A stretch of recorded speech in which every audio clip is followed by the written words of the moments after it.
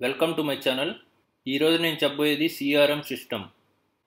మీ అందరికీ తెలుసు సిఆర్ఎం అంటే కస్టమర్ రిలేషన్షిప్ మేనేజ్మెంట్. ఇప్పుడు ఏదైనా ఒక కంపెనీలో ట్రాన్సాక్షన్స్ జరిగాయి అంటే ఆ డేటా అనేది ఒక సిస్టంలో స్టోర్ చేస్తారు. అంటే కస్టమర్ వచ్చి ఏం కొనుక్కున్నాడు? సో ఎంత కట్టాడు? సో ఎవరు అతను? పేరు? అవన్నీ ఒక సిస్టంలో స్టోర్ చేస్తారనమాట సో అదే సిఆర్ఎం సిస్టము. అతని కాంటాక్ట్ డీటెయిల్స్ ప్రతి ఒక్కటి స్టోర్ చేస్తారనమాట అతను ఎంత కొంటున్నాడు ఏమి కొన్నాడు ఏ ప్రోడక్ట్స్ కొన్నాడు ఎక్కువ. ప్రతి ఒక్క ఇన్ఫర్మేషన్ అనేది ఆ సిస్టంలో స్టోర్ చేస్తారనమాట సో ఇప్పుడు మనం రిలయన్స్ వెళ్తాము. కొన్ని వస్తువులు కొనుక్కుంటాం. ఆ వస్తువులన్నీ మన అకౌంట్ కింద సో ఇతను పలానా రోజు వచ్చి ఈ ప్రోడక్ట్స్ కొన్నాడు. సో ఎంత కొన్నాడు? అవన్నీ స్టోర్ చేసుకుంటారు. సో నీకు ప్రొఫైల్ క్రియేట్ చేసి ఇన్ని కొన్నావు ఇన్ని ప్రోడక్ట్స్ కొన్నావు అని చెప్పి ఆ ప్రొఫైల్లో స్టోర్ చేసుకుంటారు అనమాట ఇన్ఫర్మేషన్ మొత్తం. సో ఈ ఇన్ఫర్మేషన్ అంతా మళ్ళీ సో ఆ కంపెనీలో పనిచేసే సేల్స్ టీము మార్కెటింగ్ టీము వాళ్ళకి షేర్ చేస్తారనమాట సో మళ్ళీ ఏదైనా ఆ ప్రోడక్ట్కి అడ్వాన్స్డ్ వర్షన్స్ ఏమైనా వస్తే మీకు మళ్ళీ ఇంటిమేట్ చేసేదానికి. సో ఇంకా ఫర్దర్గా ఏమన్నా ఆఫర్స్ ఉంటే మీకు తెలిసేటట్టుగా చేసేదానికి వాళ్ళు ఆ ఇన్ఫర్మేషన్ని యూజ్ చేసుకుంటారనమాట ఆ విధంగా సిఆర్ఎం సిస్టమ్ అనేది ఉపయోగపడుతుందనమాట సో మీకు జనరల్గా కస్టమర్ రిలేషన్షిప్ మేనేజ్మెంట్ అంటే ఏంటి? సో కస్టమర్ రిక్వైర్మెంట్స్ని సాటిస్ఫై చేయడం అనమాట అల్టిమేట్గా. సో కస్టమర్ ఎక్స్పీరియన్స్ని బెటర్ చేయడం.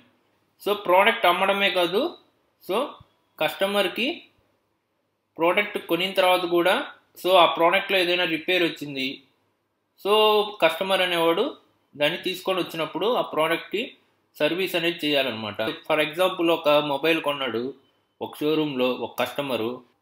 సో ఆ కస్టమర్కి ఆ మొబైల్లో ఒక వన్ ఇయర్ తర్వాత ప్రాబ్లం వచ్చింది.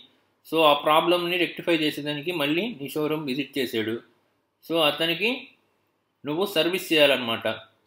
సో బెటర్ సర్వీస్ చేయడం వల్ల మళ్ళీ నీ దగ్గరే వచ్చి అతను మళ్ళీ ఇంకోసారి మొబైల్స్ అనేవి కొనుక్కుంటాడనమాట సో దీనివల్ల కస్టమర్ ఎక్స్పీరియన్స్ అనేది బెటర్ అవుద్దనమాట సో కస్టమరు మళ్ళీ మళ్ళీ నీ దగ్గరికే వచ్చి కొనుక్కుంటాడనమాట.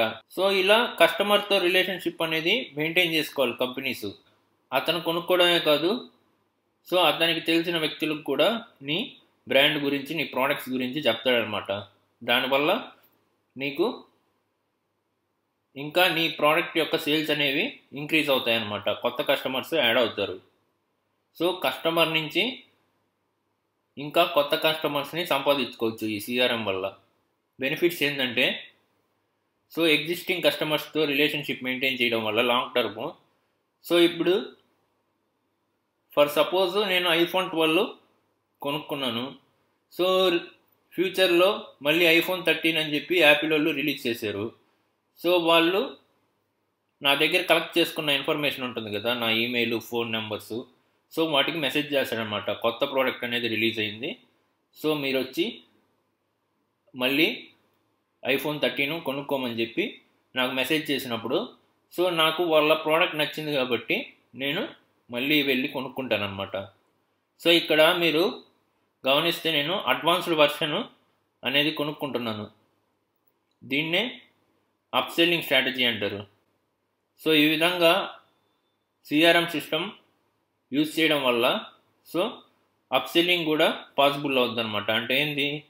ఐఫోన్ ట్వెల్వ్ ఆల్రెడీ కొనున్నాను. సో దానికి అడ్వాన్స్ వర్షన్ అనేది కొనుక్కుంటున్నాను అనమాట సో ఈ విధంగా డేటా అనేది మెయింటైన్ చేసుకోవడం వల్ల. సో కస్టమర్తో రిలేషన్షిప్ మెయింటైన్ చేసుకోవడం వల్ల లాంగ్ టర్మ్ రిలేషన్షిప్ మెయింటైన్ చేసుకోవడం వల్ల మనకు అప్సెల్లింగ్ అనేది కూడా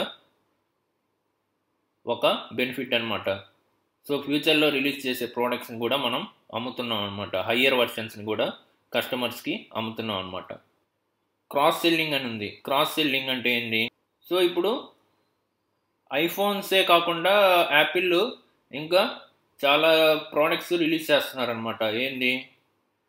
సో మ్యాక్బుక్ సో ఇంకా వాళ్ళకి సంబంధించిన ప్రోడక్ట్స్ ఉంటాయి కదా.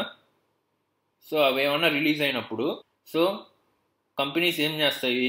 సో ఈ విధంగా మేము ఐఫోనే కాదు మ్యాక్బుక్స్ ఇంకా చాలా ప్రోడక్ట్స్ తయారు చేస్తాము. మీకు ఇంట్రెస్ట్ ఉంటే సో ఇవి కూడా ట్రై చేయండి అని చెప్పి సో వేరే ప్రోడక్ట్స్ కూడా అమ్మచ్చు. సో ఈ సిఆర్ఎం సిస్టమ్ కానీ మెయింటైన్ చేసుకుంటే. సో దీన్నే మనం క్రాస్ సెల్లింగ్ అంటాం. సో ఇది ఓవరాల్ సిఆర్ఎం అంటే సిఆర్ఎం సిస్టమ్ వల్ల బెనిఫిట్స్ సో నా ఎక్స్ప్లెనేషన్ కనుక మీకు నచ్చినట్లయితే ఈ వీడియోని లైక్ చేయండి. సో మీకు ఏమన్నా బిజినెస్ రిలేటెడ్ స్టడీస్ గురించి వీడియోస్ కావాలంటే కామెంట్ చేయండి. నచ్చితే వీడియోని షేర్ చేయండి. Thanks for watching.